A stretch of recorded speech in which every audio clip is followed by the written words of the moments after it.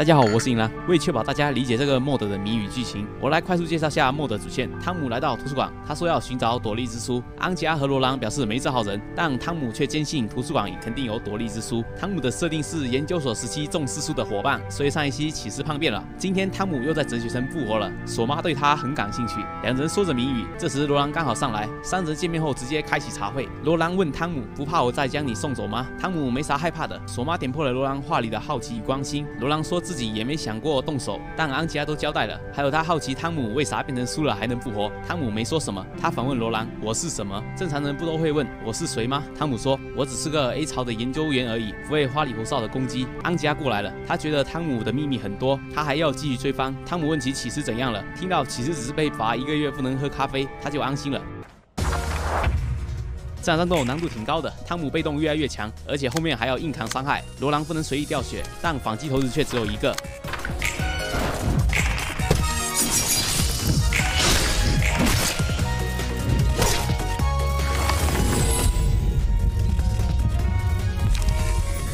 虽然没掉多少血，但两树叶打三树叶，很危险啊。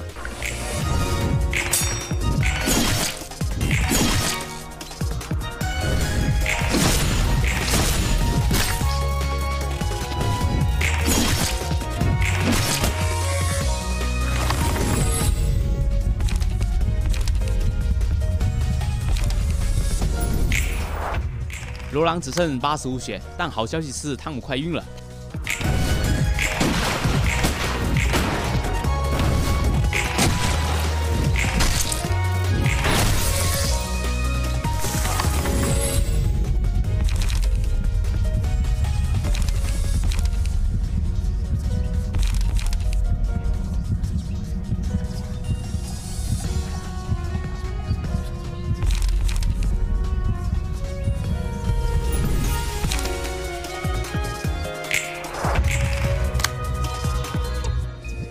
汤姆晕了，可以输出一波。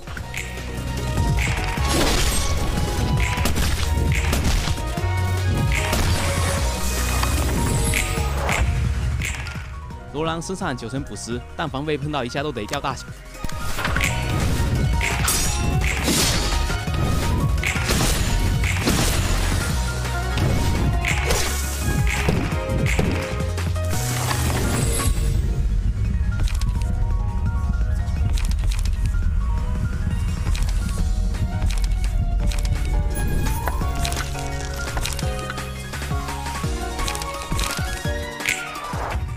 汤姆快进入锁血了，内鬼也要出现了。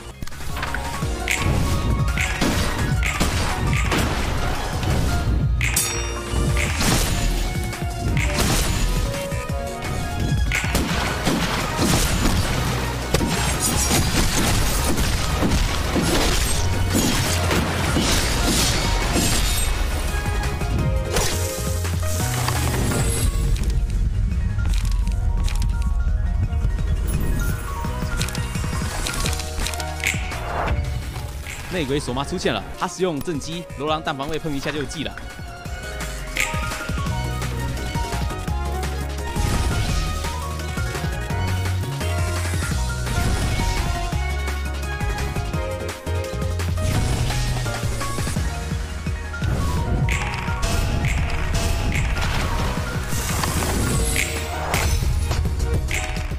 汤姆偷学了索妈的正击，罗兰完全挡不住，罗兰已经死了很多次了。